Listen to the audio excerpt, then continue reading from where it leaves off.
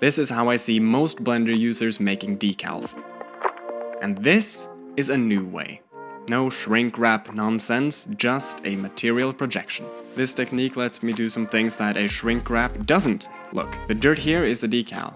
I can use it on two different objects at the same time. Extremely useful for hiding awkward intersections made by lazy work, like, like here, with some climbing plants, hiding an otherwise very obvious seam. Also this, I can mix the decal with the material underneath, like with this graffiti uh, it picks up the normal map from the bricks and gets bumpy. It also blends with the dirt from the ground. I'll show you exactly how to do that. A shrink wrap looks a little too flat on here. Baking? Yes. If you're so happy with your work that you want to make it permanent, bake it.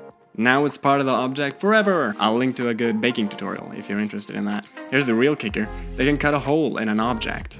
This is not a boolean, it's a texture with an opacity channel that lets you see right through. And since it's all done in the node editor, it plays well with this uh, crack too. This is simply a better way to do decals, and without it, I could not have made this clip.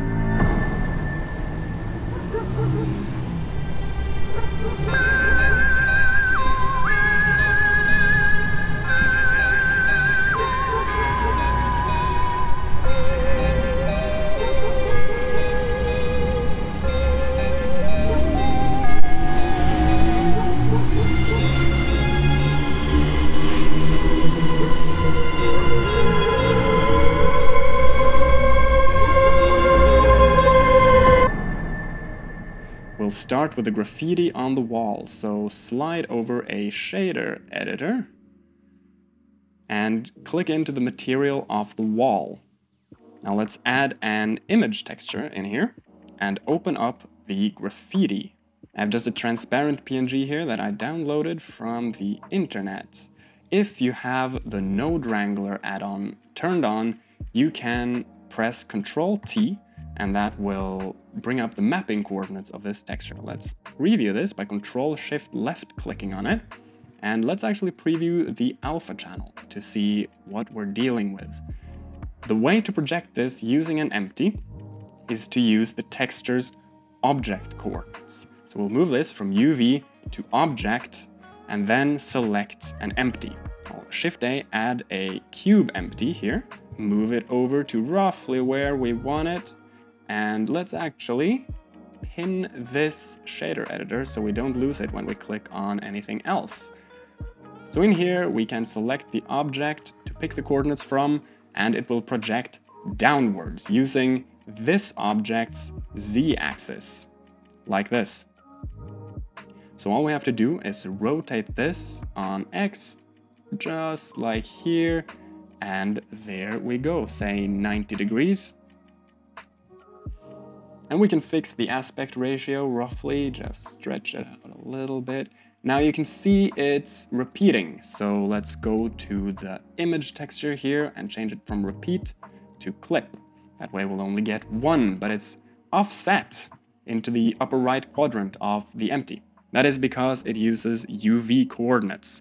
If you think of this center point as zero, and then you have the y-axis going up and the x-axis going over, the UV is in positive space. So all we have to do is go to the mapping node and change the location of the components to 0.5 and that'll move it to the center. And we can also stretch it out to the borders by setting scale to 0.5.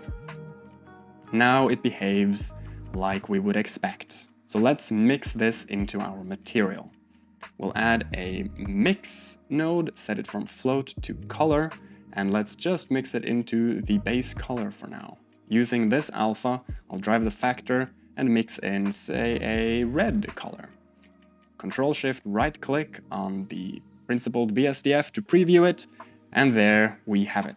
It's just mixing into the base color at the moment, but there is in fact a problem that we can't see right now, but it'll be obvious once we move over to the other side. This thing is projecting all the way through. And if we had more geometry over here, it would project onto that as well. So we have to limit it somehow. There are a couple of ways to do that, but my favorite way is to use the object coordinates again here and separate out the x, y, and z components. if we preview these, you'll see that this shows us the x values of this coordinate system. It's zero here, meaning it's black, it goes all the way to white, and it even goes past white, but it can't show that because it only goes from black to white. We page through these, we go to the y-axis and finally to the z-axis, this is what we want.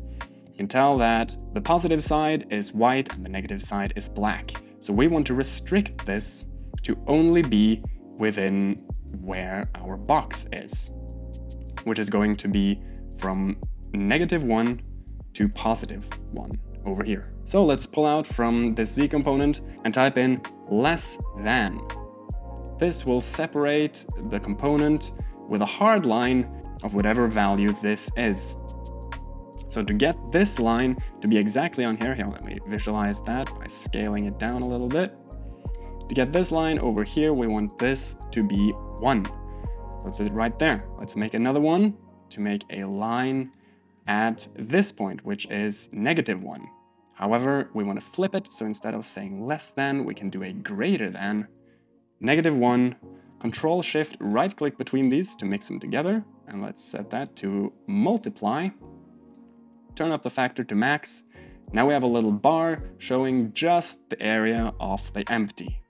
If we multiply these colors over this factor right here, let's do that. Mix, color, multiply, over this alpha, then it'll take the black parts of each of the pipes and exclude the decal from anywhere else. Let's preview that to see if it works, and it definitely seems to. It's no longer on the back side. So now you can choose where it'll be by whether or not it is inside the geometry.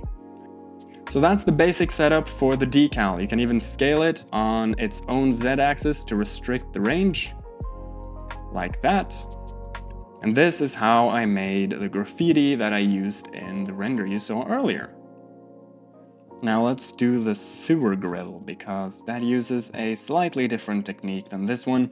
It has its own bump, its own opacity. It's basically its own material overlaid onto this material right here. So here I have the sidewalk set up with all the other decals.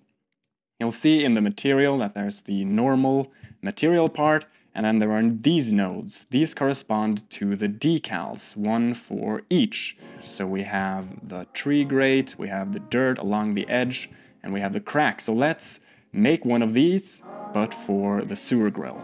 So we'll add a principled BSDF and Control Shift T on the keyboard with Node Wrangler enabled. And this material is a PBR decal that I downloaded from Substance 3D Assets.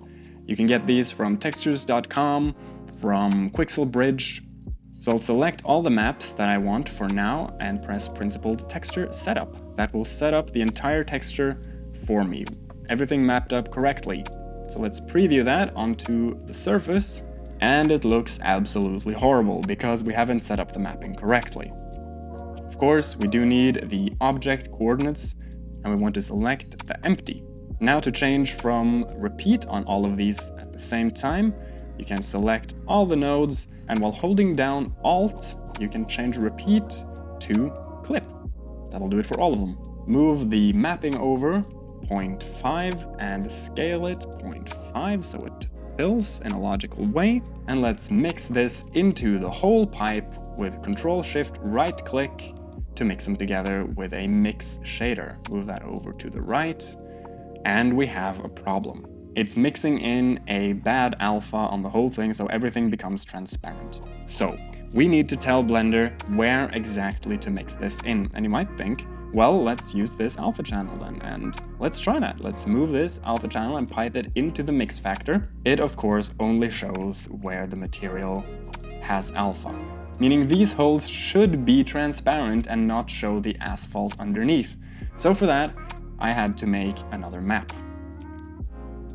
Let's duplicate this alpha map, open it up, and you'll see that I have made a version of the alpha map where I painted in the center to make that completely white. This is where we want to mix in the new material. So let's pull that up right into the mix factor, and now we should have a working material.